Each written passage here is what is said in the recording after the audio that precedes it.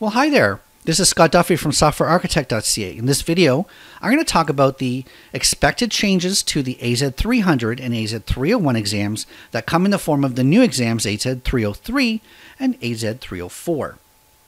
I do want to stress out at the beginning that these things are going to take months before they fully are implemented. So we're looking at March for the beta, we're looking at possibly June for the go live, and for the 300 and 301 exams to be retired. And so you do have several months and no need to, to change your plans as of today, right now. Now, we don't actually know what the exams are changing in terms of the contents of the exam. They have not released the syllabus of the, the exams, and so we can't do a side by side comparison to see what's changing. They did drop a hint in that they're looking at less duplication between the various roles. So the architect role and the um, the administrator role and the developer role, there's sometimes a little bit of overlap where the architect role had some developer questions and had some administrator questions. And so hopefully, Microsoft is looking at reducing the duplication, reducing the scope a little bit, and focusing it on architecture type topics and less on uh, developer and implementation topics. So, like I said at the beginning, the existing AZ300 and AZ301 exams will eventually be retired and replaced with these 303 and 304 exams. Those new exams will go into beta sometime around March, and you do have the opportunity to take these beta exams at a discount. So, if you're looking to take these exams and save a little bit of money, hold off and you can take those exams around the March time period at 80% discount. That's roughly $40 instead of $160. Now, the 300 and 301 exams, which are the existing exams, will then be retired as soon as the new exams go live, and there's no extensions being offered. You have to have uh, taken and passed these tests by June 2020 if that's what you're interested in taking. Now, don't panic. If you did take these exams recently, the 300 and the 301, you got your architect badge, the certification is still valid.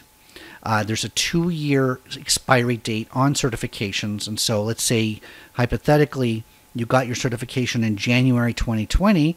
Well, that certification is still valid until January 2022.